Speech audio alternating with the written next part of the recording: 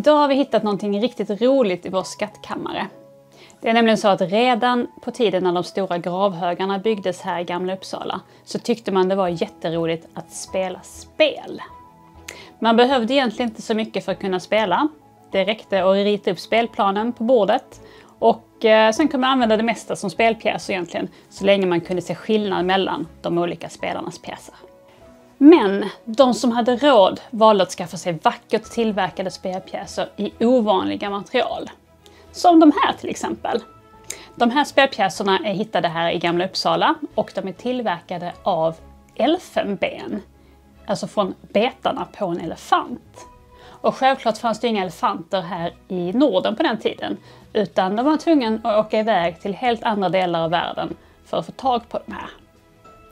Spelpjäserna de är formade med en svarv, ett verktyg, och kan också ha varit målade kanske.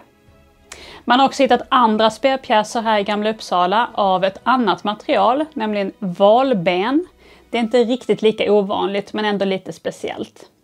Eh, och det visar också på att man hade ganska mycket handel med områden längre norrut. De här valarna jagade man nämligen längs med eh, Nordnorges Atlantkust. De här spelpjäserna, det var de sista skatterna ur vår skattkammare som vi tänkte ta upp den här veckan. Vi hoppas att ni har tyckt om att titta på det här och så ses vi nästa gång. Tack så mycket!